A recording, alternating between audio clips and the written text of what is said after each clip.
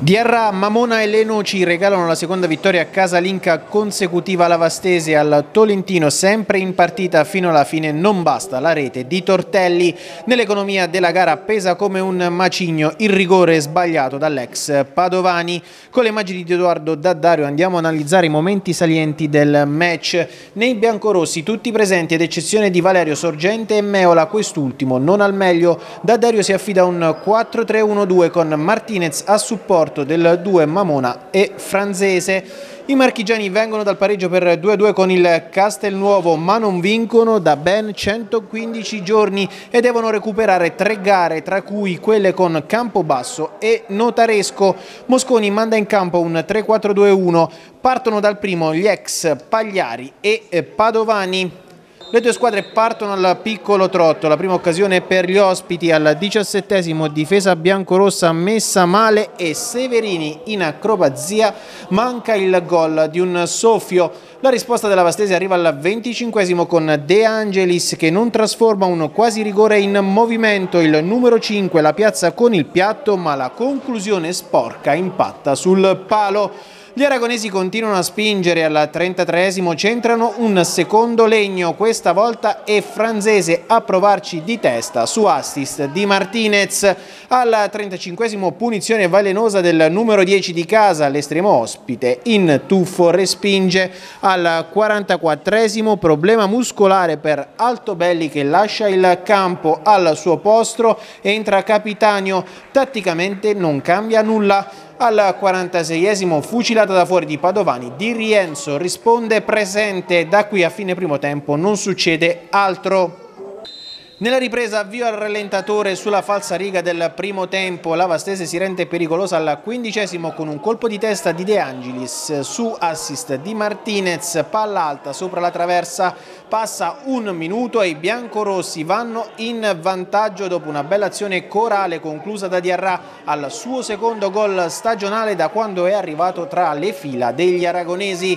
Il Tolentino accusa il colpo e al diciannovesimo incassa la seconda rete di Prisco vola in contropiede e pennella per Mamona che di testa da due passi fa 2 a 0.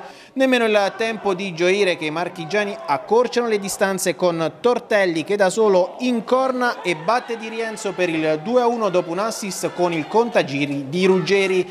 Al ventottesimo episodio dubbio in area vastese, Diallo tocca Severini, il direttore di gala Ilaria Bianchini di Terni indica il dischetto, questo il contatto sul punto di battuta va Padovani che angola troppo e centra il palo. Al 48esimo in contropiede i biancorossi calano il tris con le noci che con un pallonetto da centrocampo quasi batte il portiere marchigiano in uscita disperata. 3 a 1 e partita finita è l'ultima azione della gara gli ospiti ci hanno provato fino alla fine ma senza fortuna e convinzione la Vastese agguanta tre punti pesanti e sale a 18 in classifica. Mister D'Aderio ottima prestazione della sua Vastese, una squadra in uh, crescita. Ma ottima, insomma c'è da dire, diciamo uh, discreta, sotto il profilo eh, tattico è stata buona, eh, sotto il profilo eh, delle realizzazioni e del cercare di eh, realizzare anche questo mi è piaciuto, però dobbiamo crescere in tante situazioni perché abbiamo preso un rigore da fallo laterale, eh, dobbiamo stare attenti a tante cose, eh, però eh, è stata una risposta anche fisica. Eh, 18 giorni, 6 partite sono tantissime e la squadra ha risposto bene, ma soprattutto bene nell'interpretare quello che doveva fare, oltre ad essere fisicamente eh, attenti e attivi. Ero molto preoccupato. Interessante la posizione di Martinez dietro le punte.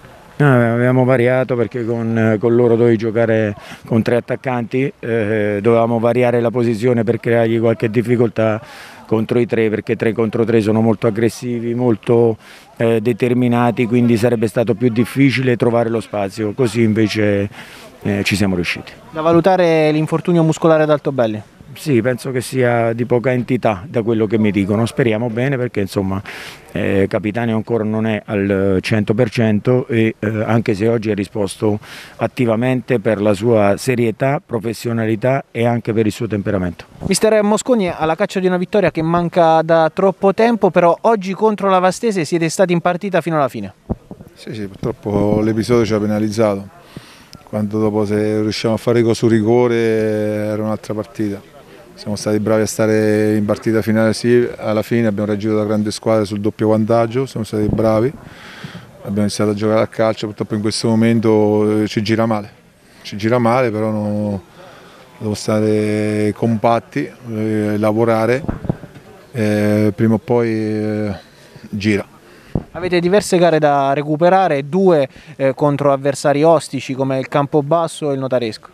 Sì, sì, eh, beh, per noi sono tutti ostici, perché noi siamo eh, tra virgolette gli ultimi degli ultimi, noi dobbiamo giocare sui principi nostri, col cuore, perché tutti hanno rose tra virgolette superiori alla nostra, però quello non deve influenzare, questo è il nostro sogno di riuscire a fare la salvezza e si fa soltanto lavorando e non essere morti. Dispiace perché la squadra è viva, eh, non merita pure oggi perché sia stata una sconfitta immeritata, però eh, quando ti gira male è così, dobbiamo evitare di fare i, i danni, stare tranquilli, combatti, società, staff, tifosi e i campionati non finiscono adesso, finiscono, è lunga, siamo neanche a finire il giorno di andata perciò c'è tante gare da fare e tanti punti da conquistare.